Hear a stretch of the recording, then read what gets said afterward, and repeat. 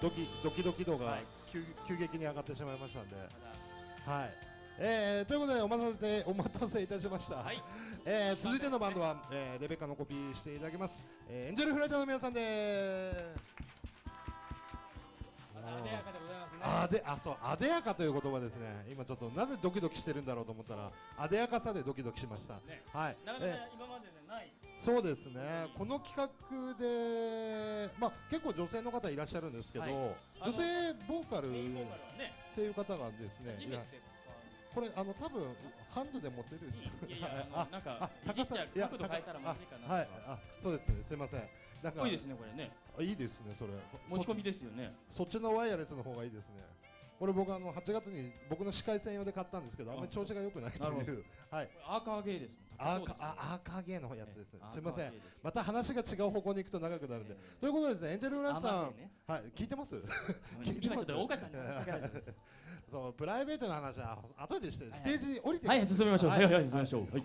大きいです声が。はい、えー、ちょうど4年4年前にですね、うん。出ていただいて、まあ、はい。それ以来という形になるんですけどね、久しぶりまの本当に縁とはまか不思議なものみたいな感じで、こそういろんな縁でですね回ってきまして。オフコースチームとね知り合いだったというで僕もちょっとご連絡をさせていただこうかなと思ったらホームページであのメールがどうしても見当たらなくてですね、でメールが出せなくて、であのこう違うルートみたいな感じでですね、こうこう飛ばして飛ばしたというかいろいろねあの皆さん伝言ゲームで何度かね。伝言はい、はい。言ったんですけども、はい。ずっと活動は続けられてたという形でね別にパゴとか嫌いになったわけではないんですね。やめてくださいあそういうそういう。いやどうして4年間も出なかったのかなとふと。まあ前回ね店長のセクハラがあったとかあ。いろいろあるかもしれないですけど。ハッシーがなんかやはったのかもしれませんい、ねあよかった今柏木ですよね。はい。柏木4年前多分いなかったと思います。あそうなの？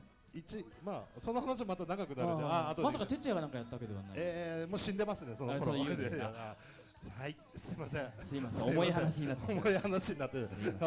えーとまあでもね本当にレベッカレベッカはですね、うん。あれですよ。僕はもう思いっきりリアルタイムなんですよはいはいはい。多分微妙な差なんですけどええ。年齢的には、多分ここで差っていでうのが。もなんかねあのなんだっけオールナイト富士だっけ？はい。夜の。オー深夜番ルナイトフジですか？なんだなんつった？オールナイターズとかってあったじゃない？はい、はいあれにレベッカ出てたので初めて見たかな？深夜に。マジっすか？テレビで。うん。もうそれは僕まだ全然出てきたばっかりの頃。僕の地元でやってなかったですねオールナイトフジが。九州だったんであのそう。いう危険な番組は九州はあの遮断されるんであ来ないでね。多分さっき落葉さんもね、はい。ご存知だと思いますけど、ええ九州はそういう電波届かないようになってますんで、えーどんな電波ですかそれ。でね、僕はね逆そういう不純なのじゃなくて。不純ってなんだ。あの 10, 12インチシングルみたいのがうん。なんか LP でもなくあシングルでもないやっていうのがちょうどねレベッカがであとなんかインディーズ的な扱いなのがおちょうどレベッカがは走りというか最初だったんですよね。85年ぐらいですかね。5 45年45年あへえみたいな感じになってますけど。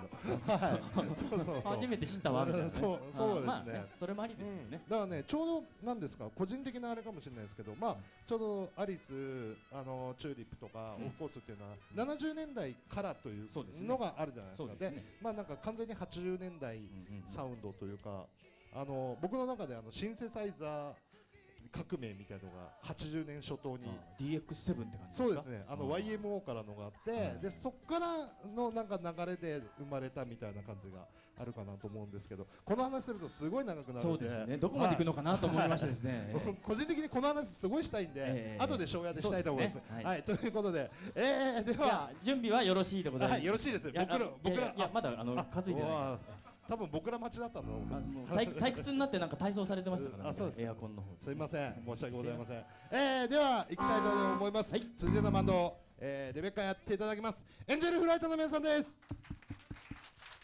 ろしく。「